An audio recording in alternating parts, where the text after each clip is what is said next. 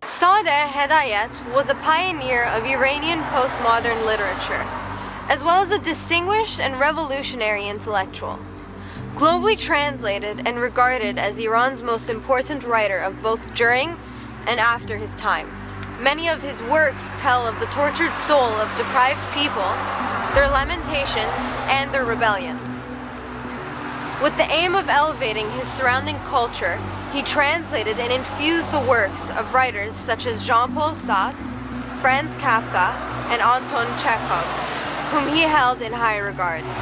On April 9, 1951, in a flat in Paris, Hedayat committed suicide. There had been much speculation, I dare say propaganda on his suicide, details of his life, and his message. The late author and playwright Gholam Hussein Saidi said of Hedayat, if they have labeled this poor alienated critic as a lover of death or antisocial, they have erred. He valued life in its splendor. He saw it and he suffered. He was an intellectual in the full meaning of the word, as he never bowed down to any sort of might. He had discovered and become intensely aware of the corrupt odor of the clerics.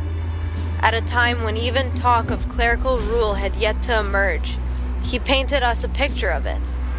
Naked Solitude, a glimpse into the life and literature of Sadegh Hedayat. It is being directed by award-winning director Moslem Mansouri, the founder of Iranian's underground cinema, and the individual whom Iran's other titan in postmodern writing, the poet Ahmad Shamloo, entrusted to document his life before he passed in the summer of 2000.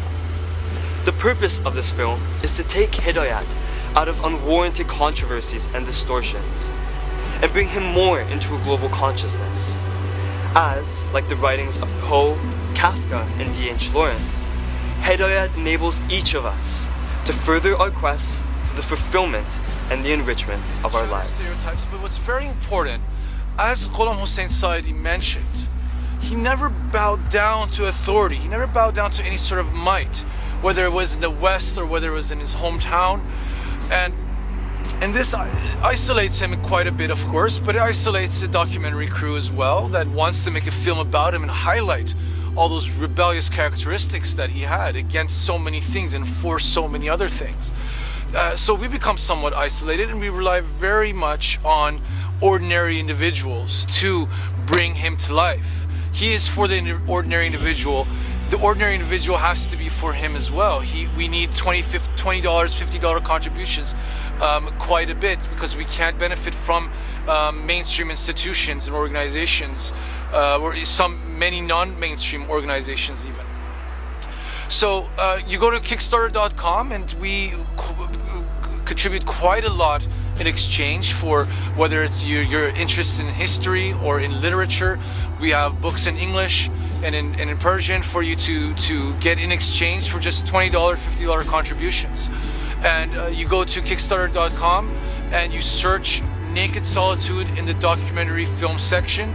And we're quite blessed to have such an uh, humble and pure documentary crew. The director, the production crew, all only in it here um, for getting a minimal cost to bring him to life in all the significant aspects of his life and his works. So I hope you contribute, you help us out, um, even small contributions, um, and we'll um, see you then.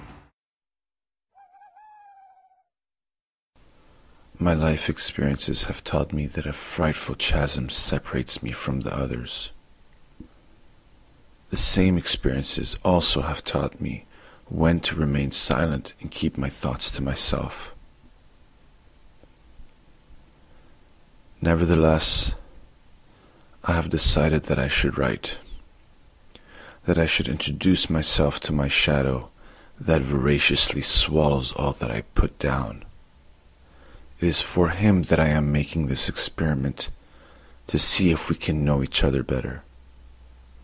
Since the time when I severed my ties with others, I want to know myself better.